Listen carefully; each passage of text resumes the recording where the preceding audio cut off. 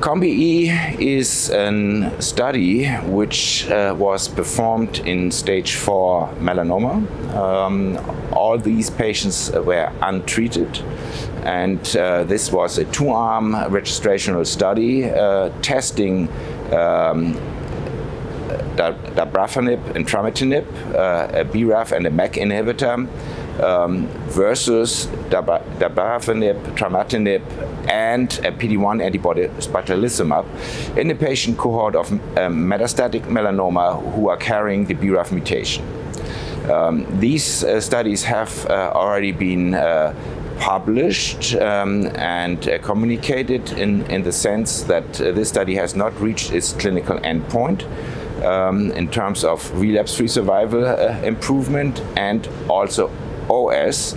Um, but we see after um, now more than three years uh, of follow-up that there is roughly a 20% increase in um, uh, improvement, um, also um, protecting against uh, uh, deaths uh, in this study, although it's not reaching statistically significant because the trial probably was um, not large enough.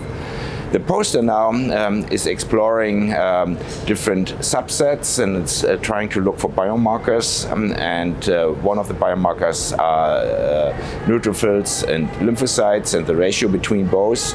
And we know that um, inflammatory uh, signatures in the tumor, in the tumor environment, are important factors for predicting outcome um, in patients uh, towards a checkpoint blockade. And that's actually what we see here uh, as well.